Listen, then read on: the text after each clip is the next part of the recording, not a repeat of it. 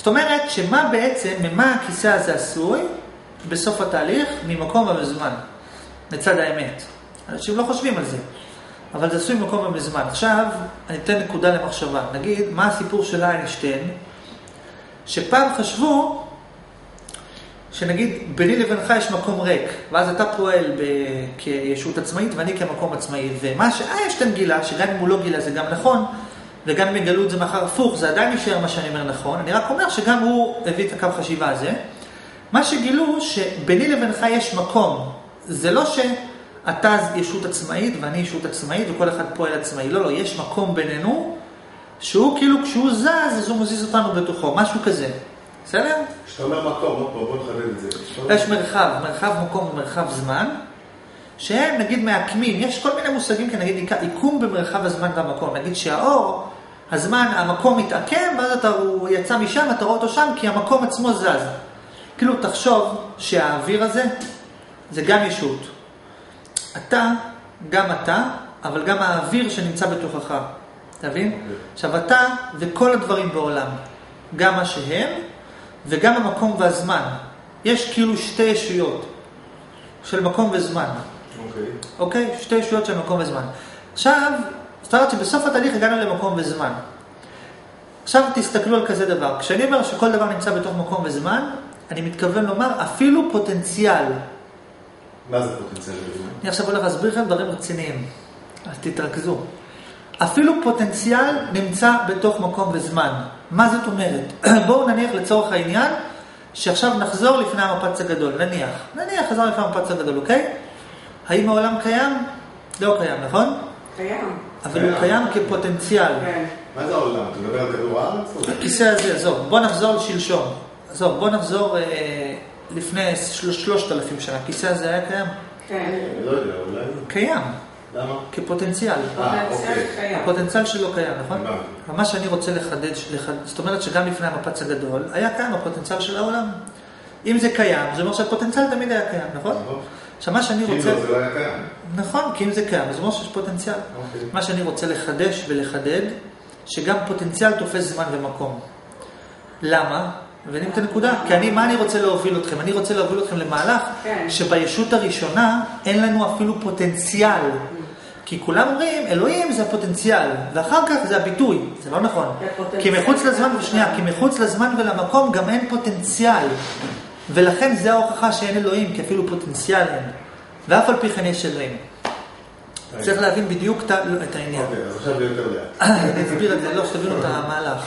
אז אני רוצה לחדד שלא רק מה שישנו תופס מקום וזמן, אלא גם פוטנציאל של דברים, זה גם תופס מקום וזמן. אוקיי. למה? כי כשאתה אומר פוטנציאל, פירושו שיש נפרדות ברמת הפוטנציאל. אם אתה אומר שלפני בריאת, נגיד לפני המפץ הגדול, אתה אומר שיש פוטנציאל להיווצרות העולם, למרות שגם לא יכול להיות שלא יהיה, כי תמיד יש פוטנציאל. פוטנציאל תמיד יש, תמיד אולי יהיה. כן, אבל מה שאני בא לומר, שעצם זה שאתה אומר שיש פוטנציאל, זה אומר שיש נפרדות. אני אתן לכם דוגמה. כאילו, לכן חייבים לומר, עכשיו אני אקפוץ שנייה לאלוהים, שאצל אלוהים, לכן אני תמיד אומר, מי ברא את הרצון שלו? מי ברא את היכולת שלו לברוא? כי אלוהים זה לפני האפשרות שיהיה אלוהים, זה עוד לפני האפשרות ההפרדה הראשונה. בכל מקרה הנושא הוא פשוט, ברגע שאתה אומר שאלוהים תמיד יכל לברוא ועכשיו הוא החליט לברוא, זה גם נקרא נפרדות. האלוהים הזה הוא לא באמת אלוהים, הוא לא אינסופי, כי יש הפרדה בינו לבין רצונו. נכנסת למקום בזמן. אין, עצם זה שיש פוטנציאל, הפוטנציאל עצמו, הוא גם תופס מקום. הוא תופ... אז יכול להיות שהוא לא תופס מקום כזה. דוגמה כמו הרצון, כמו שאומרים, אה, הרצון שלו, דוגמה להשאיר. האפשרות, האפשרות, רצון זה הפוסיביליות. אפשרות. אה? רצון זה לא אפשרות. לא, נגיד אפילו האפשרות שיהיה לו רצון. אה, האפשרות שלו.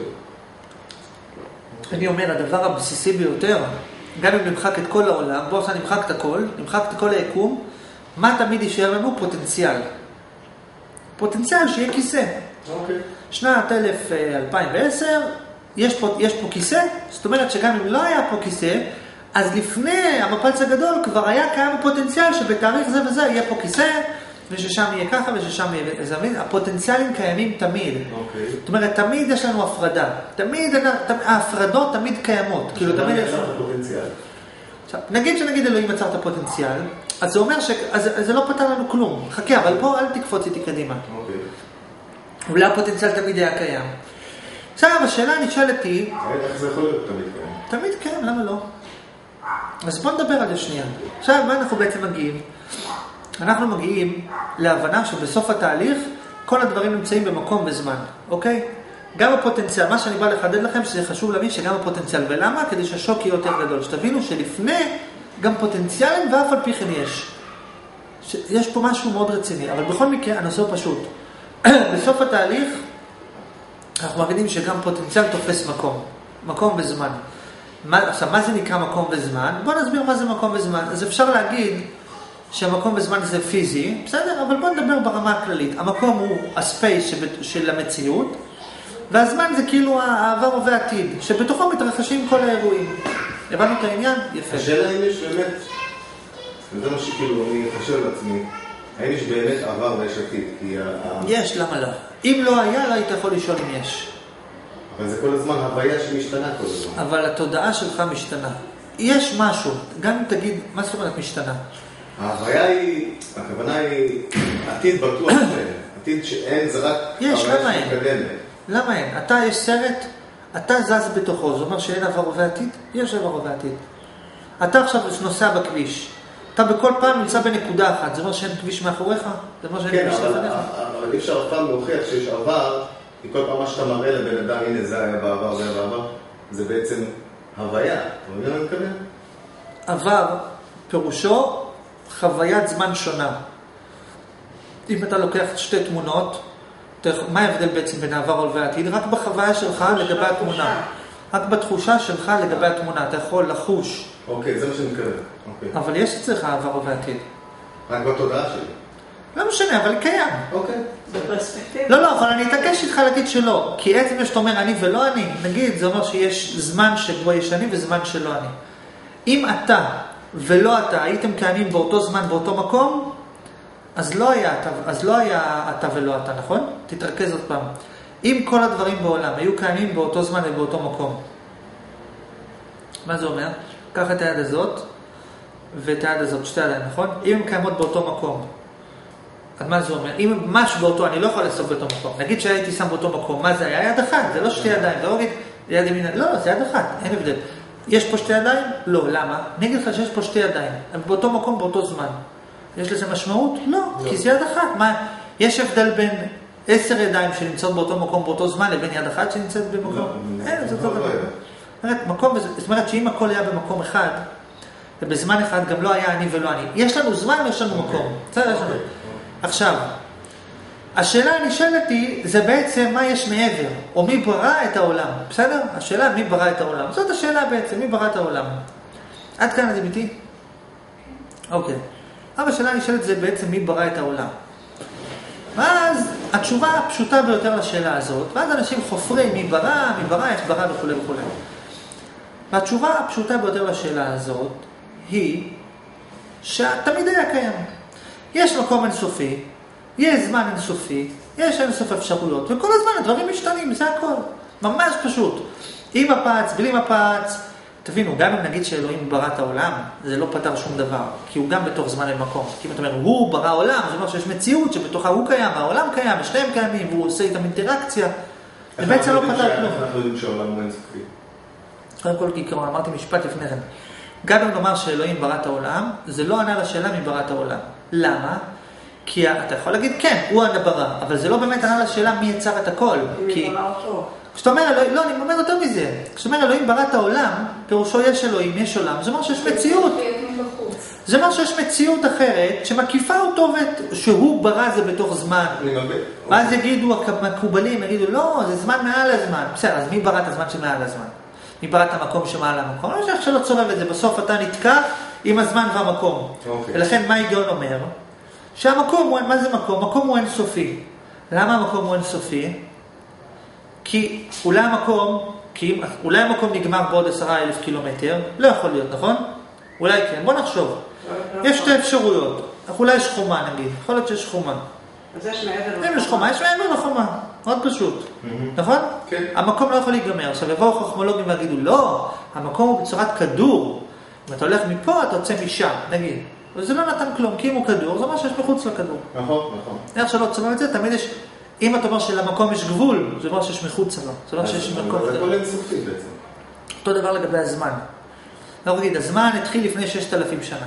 לא, כי זה אומר שאתה יכול להגיד שהזמן שלנו, אתה יכול לדוגמה, נגיד, כרגע יש מחשבים בעולם, אתה יכול להגיד, ציר הזמן של המחשבים קיים של, של, 30 שנה. אוקיי.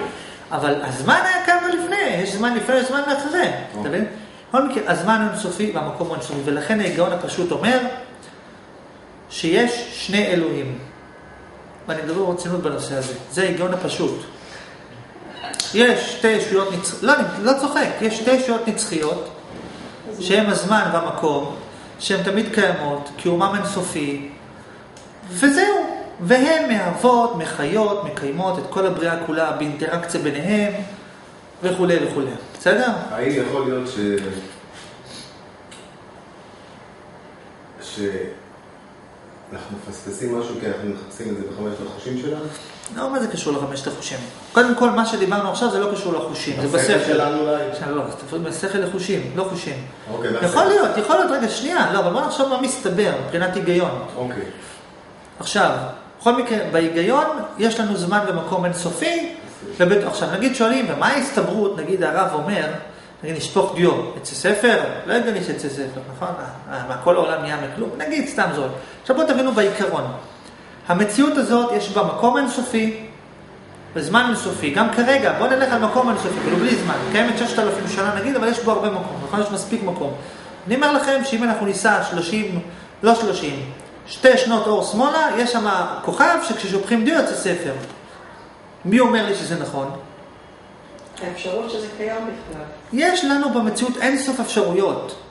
זה שכשאני שופך דיו לא יוצא ספר, זה רק אפשרות. באותה מידה יכול לצאת ספר, באותה מידה יכול לצאת, אה, לשפוך דיו ויצא תמונה, לשפוך דיו יצא מצלמת וידאו, זה לא משנה. הכל זה אפשרויות. זה פוטנציאל בעצם. האם מישהו יכול לומר שיש פוטנציאל שלא קיים? אין פוטנציאל שלא קיים. זאת אומרת, בעצם ההגדרה זה יש פה סתירה. נכון, זאת אומרת שברמת הפוטנציאל הכל קיים. אז גם הפוטנציאל אינסופי. ברור, הפוטנציאל הוא חייב להיות אינסופי. עכשיו, מאחר שהוא אינסופי, ממילא זה אומר ש, שברמת האמת, כל האפשרויות הן אותו דבר. הסיכוי, מה ההסתברות לכך שיהיה מפץ גדול, או שאלוהים יברא את העולם, או שאני אשפוך דיו ויצא ספר, אותו דבר, מצד האמת הפנימית אותו דבר. עכשיו, זה נכון שאנחנו, בגלל שאנחנו לא רגילים לזה, אומרים, תקשיב, זה לא מסתבר לי. אבל זה טיפשים, כאילו מה, אם אתה תמיד רואה משהו, אז אתה אומר, זה לא מסתבר לי שיהיה אחרת? זה שתמיד, נגיד, אני, נגיד שאתה תשפוך מים, זה ייפול למטה. זאת אומרת, מה ההסתברות שזה יעלה למעלה? אחד, מצד האמת, אה, חצי חצי. אז זה שאתה אף פעם לא ראית מים עולים למעלה, זה לא אומר שלא, לא שלא יכול לעלות למעלה. אתה כרגע, יש אינסוף אפשרויות. חוק המשיכה עובד בווריאציה מסוימת, הוא יכול גם לעבוד באלף וריאציות אחרות. אין משהו שמכריח אותו לעבוד דווקא ככה, יש משהו שמכריח אותו. עכשיו יגיד החוכמו לו, כן, אתה יודע מה מכריח את כוח המשיכה לעבוד ככה? מרחב המקום. משהו מסוים, פרמטר אחר, ומה מכריח את אותו דבר? בסופו של דבר יש אין סוף אפשרויות, ואני רוצה לתת לכם את ה... זה נקרא, יש מושג שנקרא חידוש העולם או קדמות העולם. מה שאני עכשיו מייצג, אני מייצג את התפיסה של קדמות העולם, שקוראים לזה העולם קדמון. מה זה נקרא העולם קדמון? שזה התפיסה האתאיסטית, האתאיסטית האמיתית. נניח, לא ניכנס לאתאיסטית האמיתית, בכל מקרה, בוויכוחים בין אריסטו נגיד לרמב"ם, או, ב- או מה שרבי נחמן מדבר אה, בליקוטי מוהר"ן, בתורה ס"ד, הוא אומר, זה, השכל הישר אומר שמה שאמרתי עכשיו נכון, כאילו זה הכפירה בחידוש העולם.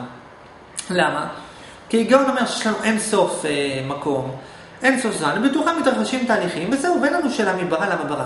ולו רק משום שזה גם לא פותר את השאלה מי ברא את המציאות שבתוכה מתרחשים התהליכים עם אלוהים. בסדר? אז מה הכוח שעושה את הסדר? אין, מה, אין, לא שייך להגיד, מה זה סדר? אתה מניח שזה סדר.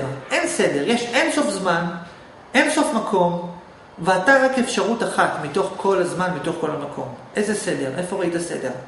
לא יודע, דברים, אה, זה, גוף האדם מסודר. תן דוגמה לדבר מסודר. נגיד, תן דוגמה. נגיד, העין מסודרת. לא דוגמה, נגיד העין. הרבנים אוהבים להשתמש בכדור הארץ שהוא לא זז, אה, הירח לא זז, מילימטר. נגיד, נגיד, אה, נו. בסדר. אם הייתי אומר לך, אם עכשיו הייתי מראה לך שהוא זז, גם היית שואל את השאלה אם הוא זז, למה הוא לא זז? לא. לא.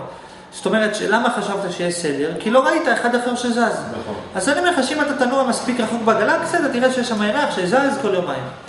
ואם אתה תנוע עוד קצת, יש- תראה ירח שזז שלושה